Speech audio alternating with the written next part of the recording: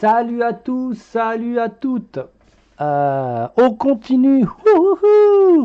Petite, alors c'est petit, euh, petit. Hein, euh, là, on est parti sur du sur du petit tuto. Alors, on va bosser le bois qu'il y a ici. Ici, je pense que on va pas le faire en bois. alors, non, c'est des dents plus. J'ai l'impression. Ouais, c'est des dents. C'est pas du bois. Je vous ai dit bois pour ceux qui étaient sur Twitch. Donc on va faire des quenottes ici. Tout ça c'est des dents. Des dents. Les dents d'en haut. Et je crois qu'il y a des petites dents ici là. Top et top. On va s'occuper de ça. Donc il y a des choses là que je sais pas du tout à quoi ça correspond. Mais bon on verra après. Et c'est parti. Allez. Là pareil il faudra dessiner parce que ça n'a pas été sculpté en fait. Euh, alors on va partir sur quoi? On va partir sur gris-pierre. Vous allez me dire encore Bah oui, j'adore cette couleur. Gris pierre. Terre foncée. Ici, pour faire commencer à faire le bois. Euh, il me faut un ivoire ou un terre mat. Je pense que ça va être ivoire. Ok, vous voyez ça. Shade, on va partir sur un mat qui va nous donner euh, quelque chose d'un peu orangé. Donc comme si c'était des dents un peu tartrées euh, noir ou camo allemand brun foncé, tout dépendra. Peut-être que ou un marron autre. Vu qu'on est parti sur un marron ici qui est un peu orangé, qu'est-ce qu'on pourrait faire? Euh, On va voir déjà ce que ça donne ici. Peut-être qu'on mélangera avec du noir ou avec du gris, euh, du gris, du gris allemand.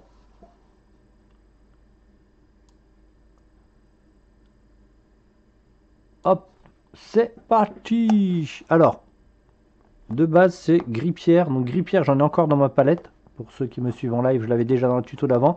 Terre foncée. Donc là, on va faire les bases. À part les petites quenottes qu'on avait euh, sous la tête, là. Vous savez qu'il avait un collier qu'on avait déjà fait. Et que là, justement, on va assombrir, alors que l'autre, on va éclaircir. Voilà, ça va être deux, deux, deux, attendez, deux passes, deux trucs différents. Alors attendez, j'ai l'impression que c'est flou. Ou c'est moi, c'est moi qui est flou ou pas Tac. Alors. Ah non, c'est bon, c'est ça. Quand je vous dis que mes figurines ne passent pas à l'écran. Euh, ok, grippière, terre et thermate qui sera, qui sera. D'ailleurs, le thermate, c'est ce que j'utilise pour faire du no métallique métal en glacis. Donc il y a des gens qui à chaque fois qui me demandent un petit peu ce que je fais pour faire mon No Metallic Gold, c'est celui-là. Avec, euh, avec euh, de l'uniforme japonais, qui est un jaune. On est parti pour du petit pinceau. D'ailleurs, j'ai pas fait la photo. Comment ça fait euh, Qu'est-ce qu'on a dit? Euh, terre, terre Grippière et et comment s'appelle? Et terre foncée. Donc ça va nous donner ça. Tac. Un peu différent. Bon, ça brille toujours un petit peu. On va peut-être... Euh, parce que vu qu'il y a du blanc sur ma figurine, je pense qu'on va diminuer un petit peu la lumière. Sinon, ça va être, euh, ça va être compliqué. Alors, luminosité, je vais descendre un petit peu. Histoire qu'on voit un peu mieux. Bah, surtout que ce que moi, je vois devant moi, quoi. Voilà, ça, c'est ce que j'ai devant moi. Ah, c'est cool. On va essayer de faire un petit peu de concentration. Parce que là... Alors, concentration, c'est mon truc, c'est pour Voilà, c'est bon. Voilà, c'est un peu plus un peu plus clean. Donc on est parti. Donc là, vous avez vu, on a du gris euh, du, gris pierre aussi en bas, c'est pas mal. Ah, ce pinceau commence à être un peu euh, en bout de course.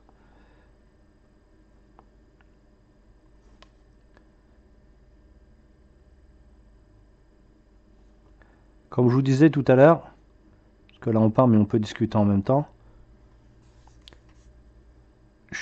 quand, vous, avez et quand vous faites votre, métier, écoutez pas toujours les gens qui, vous disent euh, euh, des bidules, vous n'êtes pas capable, vous n'êtes pas ça. Faites, faites ce que vous voulez faire, faites.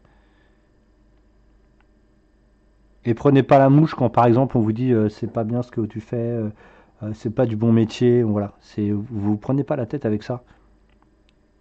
Si vous savez ce que vous valez, tout le reste ça sert à rien. Si vous commencez à vous, faire des doutes, n'importe quelle critique, euh, constructive ou pas, hein, parce que les critiques sont pas obligatoirement toujours constructives, même si j'essaye de faire constructives, à part quand je trouve que c'est abusé. Euh, bah, vous laissez de côté, vous en fichez. Concentrez-vous sur ce que vous faites. Votre travail parlera de lui-même. Ok?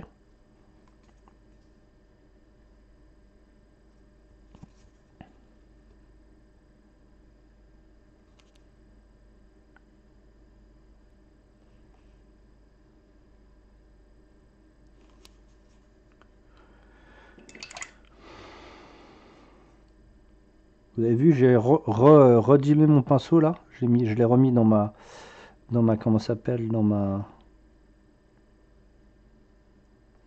dans ma, dans mon godet là, pour justement le nettoyer. J'ai fait une base et là je reprends mon pinceau avec un petit peu de flotte dedans, un peu plus dilué, pour rendre lisse. Pareil aussi, euh, dans tous les cas, ce... ah mais mais qui c'est qui a rallumé le, chat? Comment ça se fait que je vois le chat? Ok, ça fait rien, c'est cool. Dans tous les cas, ce que je fais en perso créatif, c'est pour tester. Donc j'ai envie de dire, je fais ça pour expérimenter et découvrir. Ah oui, ok. non mais pareil, quand vous avez des gens qui sont but de leur personne, et vous leur dites quelque chose, ils ont toujours un peu du mal. Et moi je discute pas avec les gens en fait. J'ai autre chose à faire, donc je donne mon avis, et je discute pas avec les gens. J'ai autre chose à faire. Donc qui me, qui me recontacte ou pas, euh, ça m'intéresse pas, c'est une perte de temps. Je discute pas mon avis en fait. On n'est pas là pour influencer l'avis de quelqu'un, vous dites ce que vous pensez. ça c'est un peu le problème. Hein. C'est les gens, ils veulent toujours vous essayer de vous, vous, euh, vous tourner la tête. Vous avez votre avis, vous faites votre avis. Faut juste que vous donniez pas votre avis quand, euh, quand vous savez pas de quoi on parle. On n'est pas censé être là, donc je vais arrêter de poster si on ne doit pas être là. non, regarde, tu peux être là, mais, euh, normalement, euh, quand, je lance le, quand je lance le truc, l'enregistrement, ouais, logiquement, le chat, il apparaît plus. Mais bon, ça fait rien, bah, profitez que vous êtes là, vous pouvez discuter avec moi. Tout à l'heure, il marchait pas du tout. Hein. C'est pour ça que je vous ai répondu après.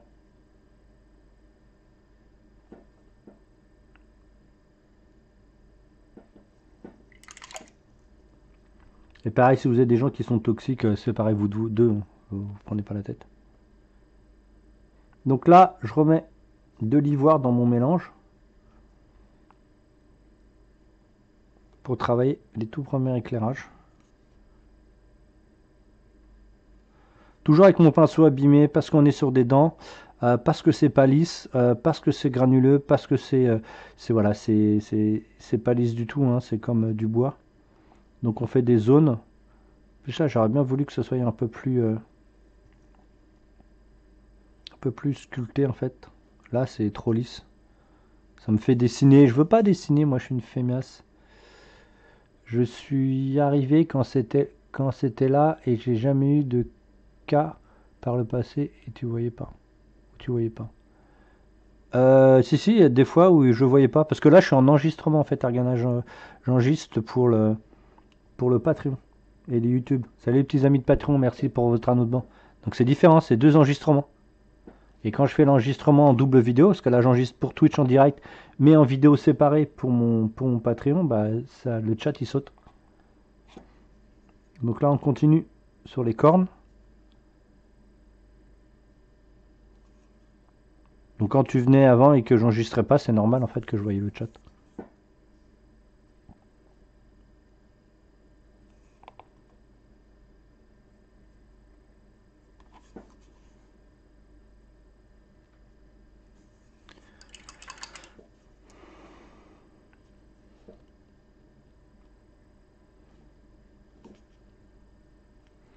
On va être obligé de dessiner les stries c'est embêtant.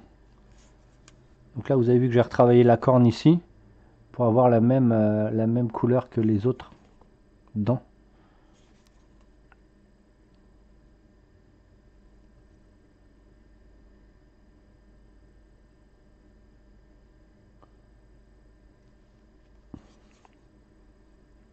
Ok. on sécher. Alors par rapport à l'illustration, vous voyez que c'est un petit peu différent. Mais on va foncer, donc euh, vous inquiétez pas.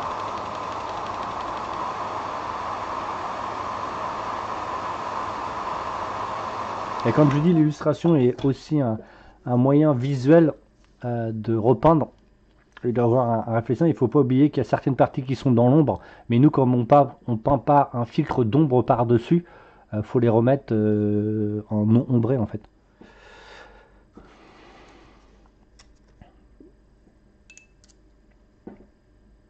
Ivoire pur.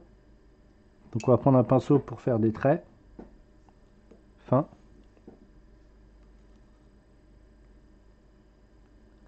Donc ça j'aurais bien voulu que ce soit sculpté, ça, ça m'aurait évité de les dessiner.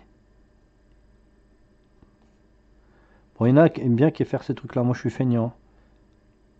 Si ça pouvait être sculpté, ce serait cool.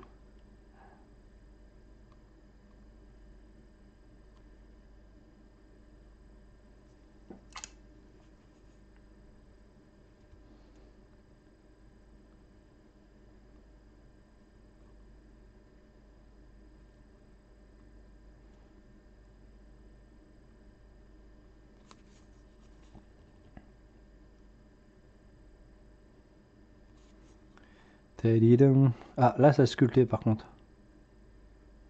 Donc je peux le travailler. Donc, en tout cas, je vous remercie à tous ceux qui sont sur YouTube. Je sais qu'il y en a qui lurk derrière et qui disent jamais merci sur YouTube parce que j'ai vu le nombre de vues qu'il y a. Je sais que c'est pas une ou deux personnes qui met le petit pouce bleu qui regardent. Hein. Vous inquiétez pas, j'ai revu et on m'a prévenu qu'on Certains récupéré mes tutos euh, pour faire leur propre tuto de leur côté, mais comme ils sont connus euh, avec plusieurs milliers d'abonnés, bah, tout le monde pense que ça vient d'eux. Mais on s'en fiche, on partage. On est dans le partage. Les gens qui savent, ils sachent. c'est pas français, mais ça te fait rigoler. On dirait les gars de W9 qui parlent, je sais pas quelle langue, mais c'est pas le français. Excusez-moi pour les fans de, de ces personnes. Bon, vous avez vu que c'est beaucoup plus facile quand c'est lisse. Les traits, vous pouvez les faire plus facilement. C'est comme si vous dessinez sur du papier glacé, c'est trop cool. Quand c'est crayeux, c'est un peu relou en fait.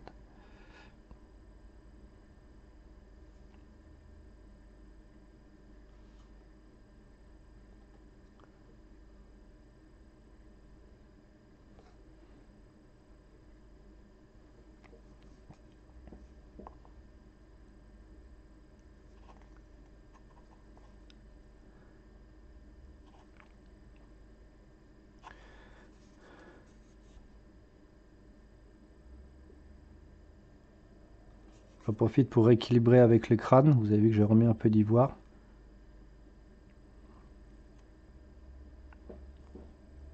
Ça, c'est toujours, faut toujours faire attention à vos, équilibres sur la figurine. Si elle n'est pas équilibrée, euh, vous allez avoir un rendu qui va être trop fort ou euh, trop dirigé. C'est-à-dire que quand vous allez peindre, vous, allez diriger la, vue euh, du, du client, euh, de l'illustration ou autre vers, euh, vers un point donné du visuel. Donc si si vous euh, si vous comment s'appelle si vous mettez trop d'intensité dans une lumière ou autre, ça va diriger la, vue et ça c'est toujours un petit peu embêtant. Ça c'est bien pour faire des choses qui bougent pas sur des figurines qui bougent pas. mais là vous êtes sur quelque chose. Le but c'est de pas rendre votre figurine comme une statuette, mais vivante. ok? C'est-à-dire euh, pas avec des trop de lumière dans tous les coins, des trucs qui ne servent pas à grand chose, etc. Vous avez vu qu'on. Bon, je sais pas si vous voyez bien, mais on discerne bien les deux différents. Et là, ça va s'accentuer parce que. Voilà, on sèche maintenant. On va mettre un, un shade de marron un peu orangé, jaune orangé si vous préférez. Et donc ça va différencier tout ça. Alors, quand vous voyez l'illustration, c'est extrêmement foncé. Euh, Loïc a fait justement, euh, je pense, quelque chose de très foncé parce que c'est voilà, c'était comme ça. Un perso assez pastel et des trucs foncés. Moi, j'aime bien un petit peu plus saturé. Mais je reste quand même dans le dans cette réflexion. Donc, je foncerai à certains endroits. Mais je préfère quand même de temps en temps mettre un peu de saturation ou d'enrichir une couleur que la laisser grisonnante ou, euh, ou autre.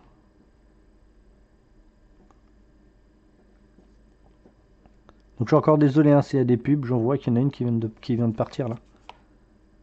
Parce que là je clique moi sur mon sur mon, sur mon dashboard pour voir euh, combien on est. Donc là on est 8, c'est cool.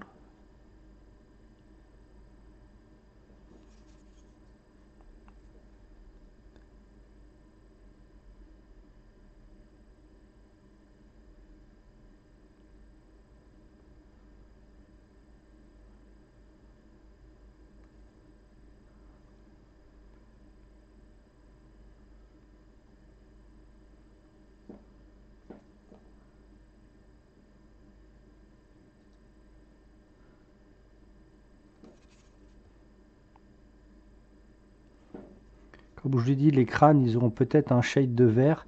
Donc, le fait de mettre du vert et du orange l'un côté de l'autre, si vous regardez la palette de couleurs chromatiques, c'est vraiment trop trop cool. Ça fonctionne très très bien. Donc là, on met des petits, euh, des petits shades euh, bien placés pour pas faire, euh, par exemple, la tête entièrement de la même couleur. Là, on peut, si vous voulez, mettre du noir en bout, mais euh, comme je vous dis, je respecte un petit peu l'illustration. Et, euh, voilà, je reste dans le truc. Hein. C'est vraiment pour aller chercher un rendu assez illustratif, mais 3D. Donc je pourrais copier exactement euh, ce que vous voyez sur le, sur le, comment s'appelle, sur l'illustration, mais c'est un peu glacé 2D. Donc on, va saturer quelques endroits pour augmenter la lisibilité et, avoir un, un, s'appelle, un quelque chose qui est plus intéressant. Après, vous pouvez, euh, si vous voulez, si ça vous saoule, rester sur euh, du pur, euh, du pur illustratif. Hein. donc, bon, un visuel 2D, mais sur une figurine, c'est pas, pas super. moi, je trouve pas ça cool, cool, quoi.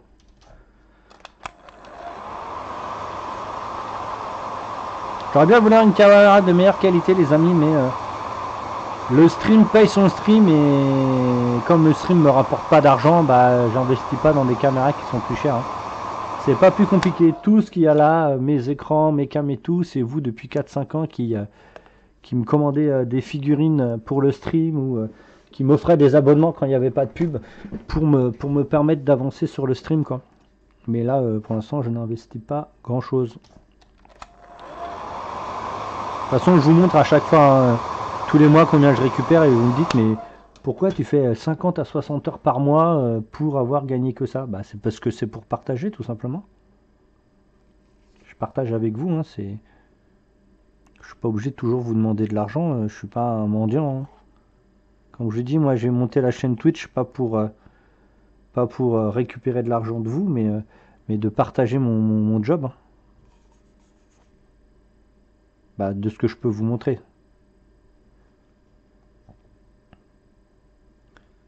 Donc là, les petites dentelées, mais je pense que définitivement, là, je vais mettre du... Je vais mettre du vert hein, dans les crânes, là. Ça me, paraît, euh, ça me paraît un peu plus logique. Un vert assez foncé, par contre.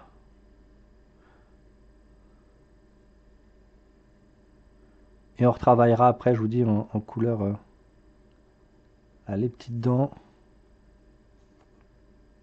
euh, j'espère que ça vous, ça vous plaît. Alors après, si ça vous plaît pas, je m'en fiche un petit peu, hein, les copains, je vais pas vous le cacher. Si vous êtes là, c'est que ça vous plaît. Si vous n'êtes pas d'accord avec moi, changez de chaîne. Hein. Comme je vous dis ici, c'est pas une démocratie. Il hein. n'y a rien de démocratique dans ma, dans ma façon de faire. Vous êtes chez moi, vous regardez ce que je fais. Donc à n'importe quel moment, je peux vous bannir. Hop.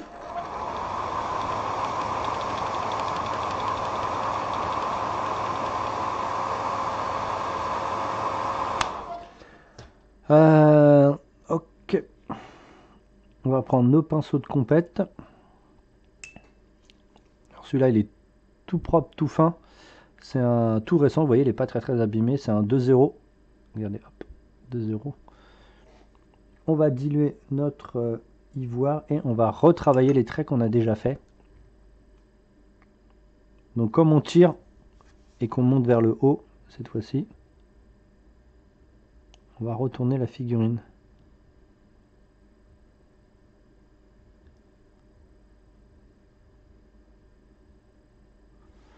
Ah non, ici, je fais ce que je veux. Ah, vous venez pas me chercher. Ah bah de toute façon les gens qui sont cool hein, ils font ce qu'ils veulent sur cette chaîne mais euh, mais comme je vous ai dit ici euh, c'est pas c'est pas la c'est pas la fête du euh, du vous n'êtes pas dans une démocratie. ah bah non ça va pas banner Argana, ici hein, ça banne pas. Mais vu comment je parle de toute façon ça casse tellement la tête aux gens qu'ils restent pas. Donc ça me plaît. Surtout euh, quand je dis des vérités où des gens viennent se plaindre. Ouais, mais dehors. On a autre chose à faire, on n'a pas le temps. Je sais que c'était une récompense de Théo. Je pense que c'est une récompense de Théo. Ah, time out Non, eh ben non, tu vois. Moi, j'ai rien changé hein, sur les trucs. Pourquoi je veux pas, je veux pas vous mettre des time out Vous êtes sérieux là? Alors que je vous montre des tutos en permanence, ce serait, ce serait, ce serait tellement pas sympa. mais ce serait rigolo, mais c'est tellement pas sympa. Vous avez vu, il n'y a pas d'animation, il n'y a pas de son ici. On est sur de la. On est sur du. Du chillax, on raconte pas de conneries. Pareil, je vous redis encore demain, les copains. Le chat demain, euh, on discute de vos, de vos travaux. Donc s'il n'y a pas grand chose à, discuter, à, montrer, euh, bon, on refera de la peinture. Je pense pas je ferai des tutos. Des auto timeout de 5 minutes pour chercher un café. Ah oui. ouais, ben non. T'es pas sur la bonne chaîne.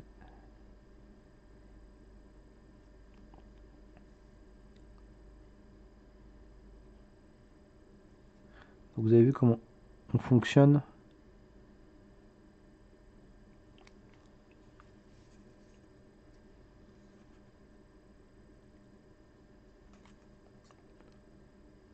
Donc comme vous redire, entourez-vous de bonnes personnes, pas de gens toxiques. C'est le meilleur moyen d'avoir une très bonne vie.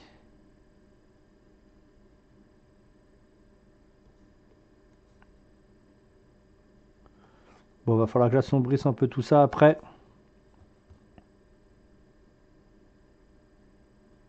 Donc là, on n'a pas fait tous les s'appelle?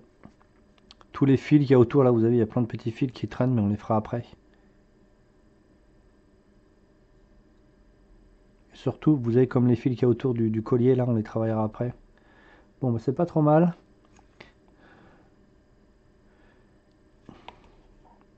N'oubliez pas, faites attention quand vous regardez une illustration à bien analyser si la figurine elle est dans l'ombre ou pas. Et si vous devez la peindre dans l'ombre ou pas, pas juste copier bêtement.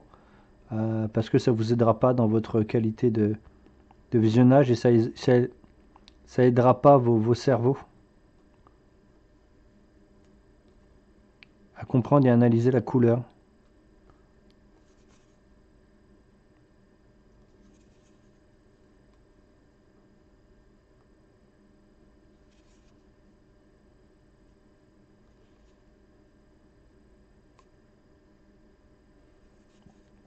Et en faisant ça, en, utilisant votre cerveau à comprendre comment est la couleur d'origine sous l'ombre, ça va vous aider énormément à justement les travailler et à les, construire ces ombres en partant d'une couleur euh,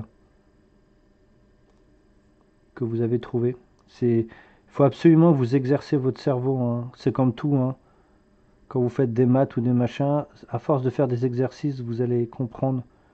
Que soit pour la musique, quand je donnais des cours de musique, c'était la même chose comprendre ce qu'il y a derrière ce son, pourquoi ce son est bien, et voilà, etc. C'est exactement la même démarche. Et après tout ça, je pourrais l'assombrir beaucoup plus tard. Si je veux le rendre un peu plus sombre. Ou pas.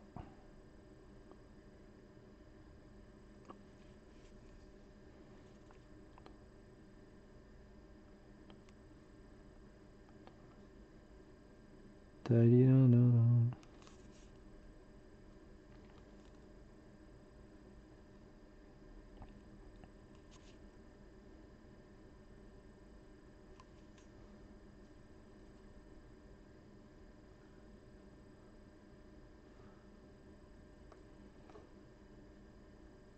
vous dis la, la saturation va retravailler. Donc là, comme on travaille du bleu euh, et que les, les cordes vont être, En fait, c'est une sorte de bleu et une sorte de jaune, ça fonctionne très très bien ensemble.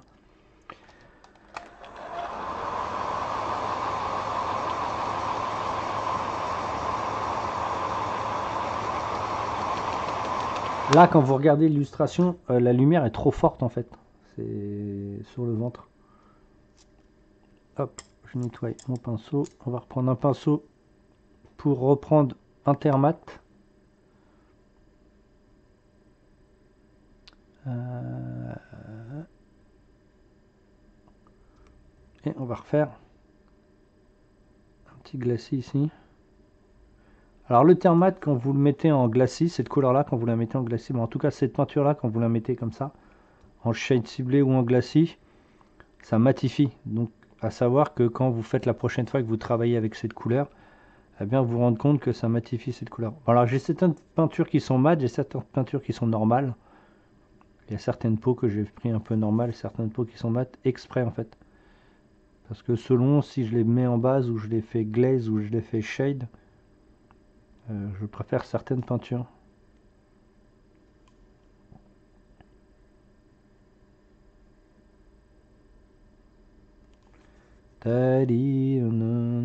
On est cool ici, hein On s'embrouille pas. De toute façon, les gens pour venir m'embrouiller, voilà. Falloir qu'ils se tiennent debout, parce que déjà, moi, je discute pas, donc... Euh...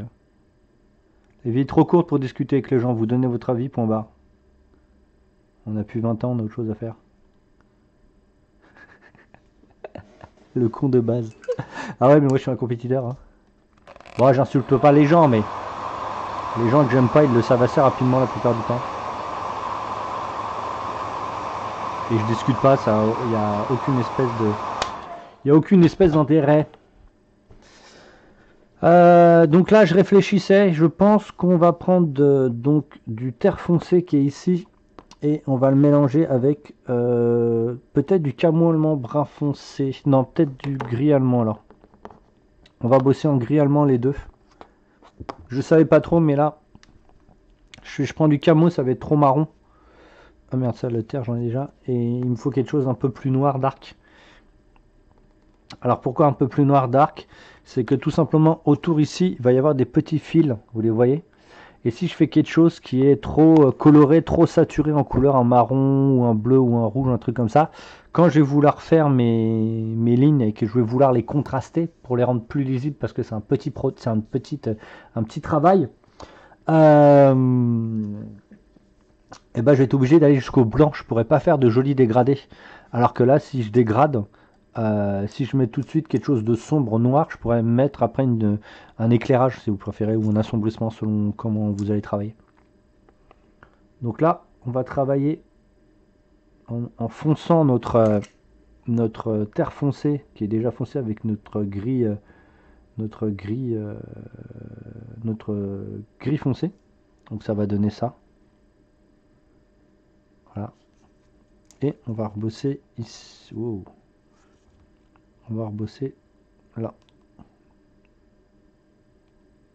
Donc on va commencer à gentiment foncer. On pourrait faire un shade tout de suite de noir, mais euh, ça sert à rien que je vous montre quelque chose euh, que vous pouvez voir un peu partout. Je vous montre un petit peu des choses un petit peu différentes. Après moi je n'ai rien inventé, hein. je, suis, suis pas un peintre, euh, je suis pas un peintre artistique, je vous dis moi c'est mon métier. J'essaie de vous montrer des astuces pour aller un peu plus vite. Alors le mélange de ces deux couleurs là, si vous préférez, euh, ça ressemble à... Euh, est-ce que je l'ai? Si vous voulez, ça ressemble à ça en un peu plus foncé. Ok? C'est un terre, ça c'est un terre, euh, un... Je crois que c'est camo allemand brun clair. Voilà, c'est le mélange des deux en fait, si vous préférez.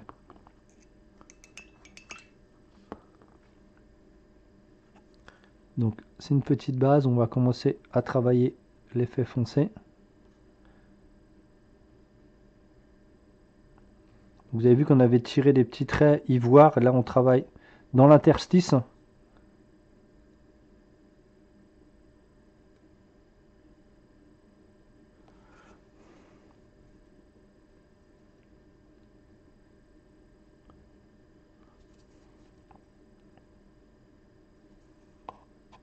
Alors pareil, attention ici, vous verrez les photos.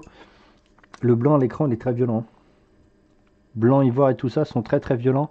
En réalité, ils sont un peu moins puissants. Mais si je vous montre pas ça, si je vous mets pas une intensité de lumière comme ça, euh, vous pouvez pas voir les petits coups de pinceau que je peux faire ou, les autres euh,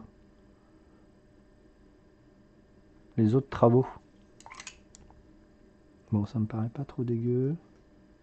Là, au fur et à mesure de mon mélange, je vais rajouter de plus en plus de, euh, de gris allemand. Donc c'est un, noir clair ou un gris foncé.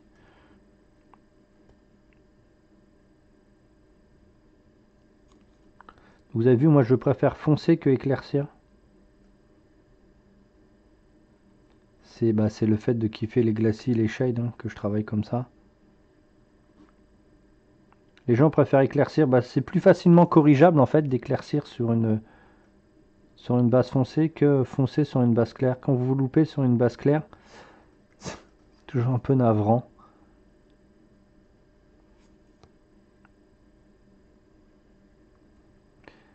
Parce que c'est chiant à corriger.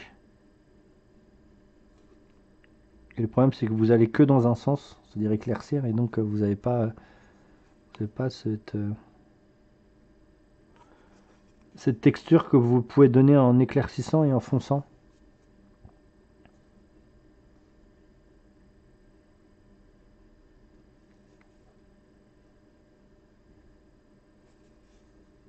je vous rappelle les deux cornes tordues de chaque côté là, c'est moi qui les ai sculptées, j'y étais pas.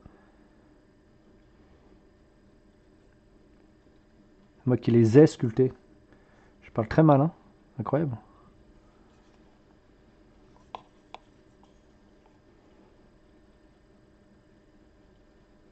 Donc là, je dessine quelque chose que je ne, que je ne devrais pas dessiner. Bon, les sculpteurs, vous pouvez me faire des trucs euh, bien sympas. Tiens, question par curiosité, car je me demande. J'ai des peintures métal N-Alchimie de Skullcolor que j'ai depuis pas mal de mois, mais non ouvertes. Il y a une sorte de couche verte qui s'est formée au-dessus. Ton avis sur ce que ça peut être? C'est le solvant ou le, euh, c'est ouais, le médium ou le solvant qui s'est dissocié, c'est exactement ça. Donc il faut vraiment que tu le secoues très fort. Surtout si c'est des métaux, c'est sûrement un vernis brillant qu'il y a dedans, ou un fixateur.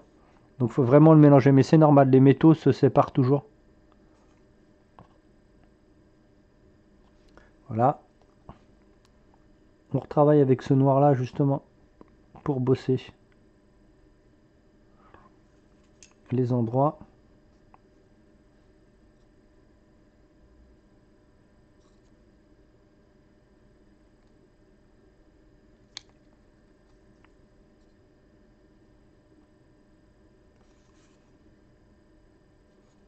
Je vous rappelle, on est sur deux lampes à 5000 ici, donc la lumière est plus forte que le rendu que je veux. C'est-à-dire que euh, si je vois que déjà c'est très fort ici, ça sera un peu plus atténué quand euh, il sera en lumière du jour. Ok, c'est ce que je pensais. J'ai vu que ça disparaissait en secouant, mais étonné de jamais avoir vu ça au rayon du coup. Bah oui, oui, c'est oui, c'est ça. C'est exactement ça.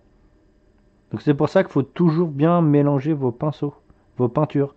Sinon, vous allez sortir que le, que que le, que le médium. Donc, ça va faire une, une peinture qui va être très. Euh, alors, si c'est un médium mat, ça va donner mat. Et après, à la fin, vous allez avoir que des pigments dans votre peau. Donc, ce qui va donner extrêmement mat. D'ailleurs, il y en a beaucoup qui peignent mat parce qu'ils veulent pas changer de peau et garder leur peau jusqu'au bout. Bon. L'économie, à un moment donné, les peaux, ça coûte 2 balles, les copains. 2-3 euh, balles, même si ça coûte 4 balles. Bon. Je sais qu'il y a des économies à faire, mais bon, faut, faut pas faire des économies de bout de ficelle. Hein.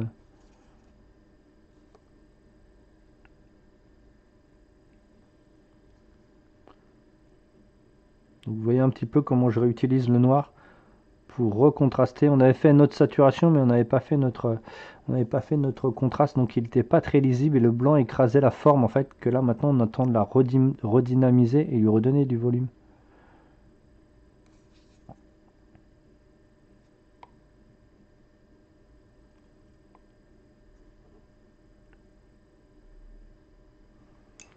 Donc là, je suis entre du lining, des shades. Je fais un peu tout avec cette couleur.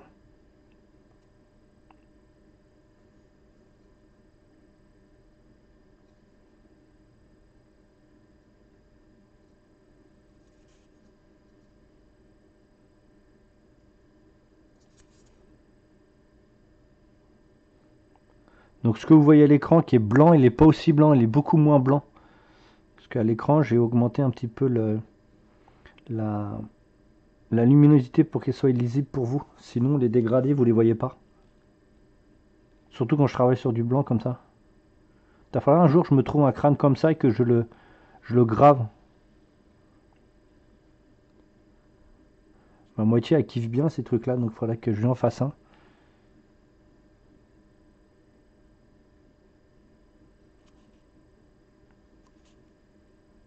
Un petit peu aussi les, les têtes de mort euh, euh, mexicaines. C'est trop cool aussi ça. Bon bah c'est pas trop mal. On a repassé peut-être un peu plus d'une demi-heure.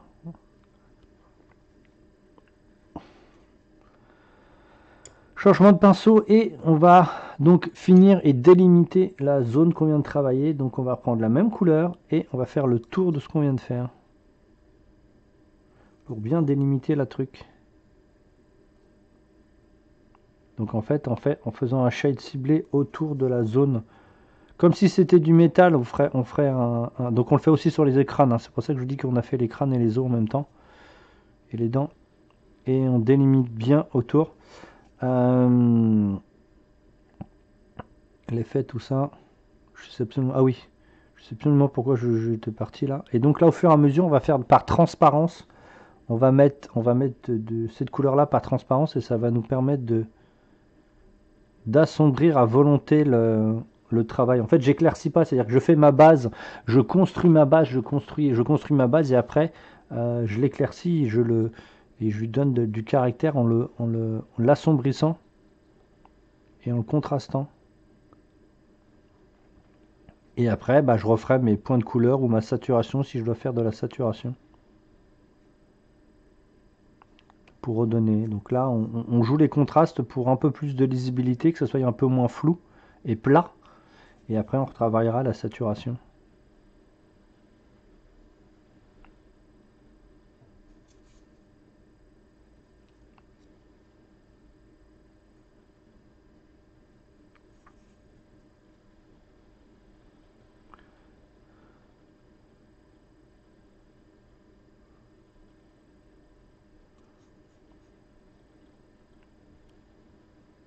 Donc là, en fait, j'ai fait tout l'ensemble de la figurine de la même, de la même intensité et de la même, on va dire, euh, comment dire, comment dit ça?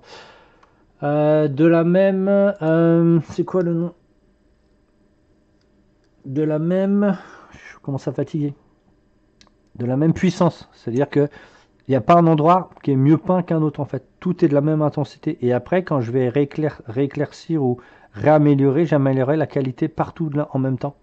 Au mieux d'avoir un côté qui est trop qualitatif et, euh, trop monté haut en fait, c'est-à-dire euh, bah, qui est mieux peint qu'un endroit, bah euh, vous êtes c'est chiant à tout rééquilibrer que par exemple ici vous pouvez vous arrêter en disant bah voilà tout est équilibré de la même manière.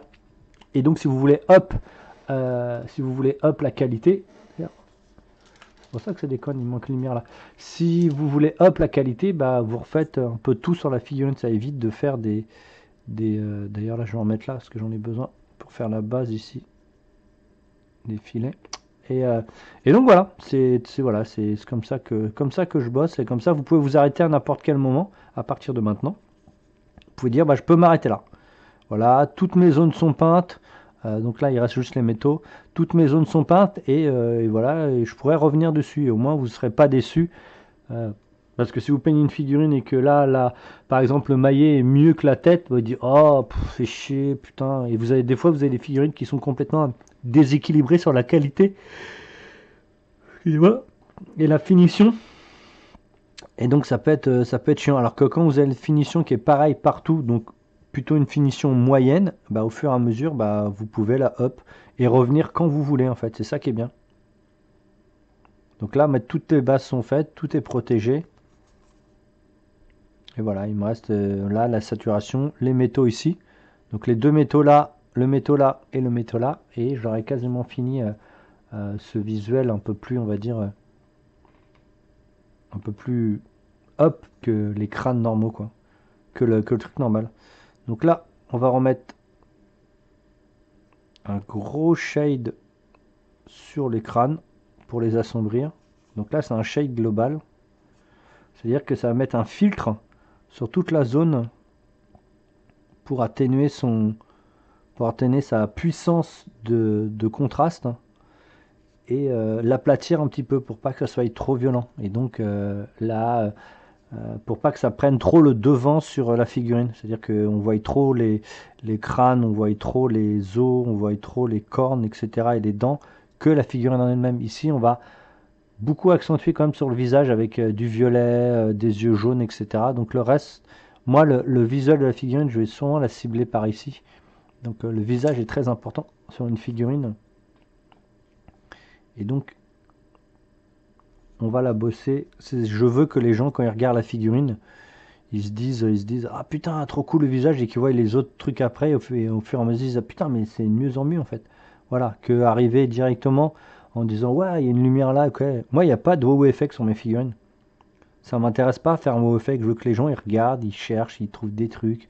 Ah, mais c'est ça qu'il y a ici, ah, trop cool et tout. Et pas, waouh, ça défonce, ah non, voilà, je veux juste que les gens trouvent ça joli et surtout un peu plus réaliste que, euh, que trop graphique. Voilà. Moi, je préfère du réalisme au graphisme, même si bah, quand je fais des choses comme ça, c'est pas voilà, c'est pas du comment dire, c'est une autre approche, c'est une autre recherche, c'est pas la même chose. Mais voilà, c'est voilà, tout dépend. Et sur ce genre de figurine, euh, quand vous avez une illustration qui est comme ça, on essaye de rester dans le dans le truc.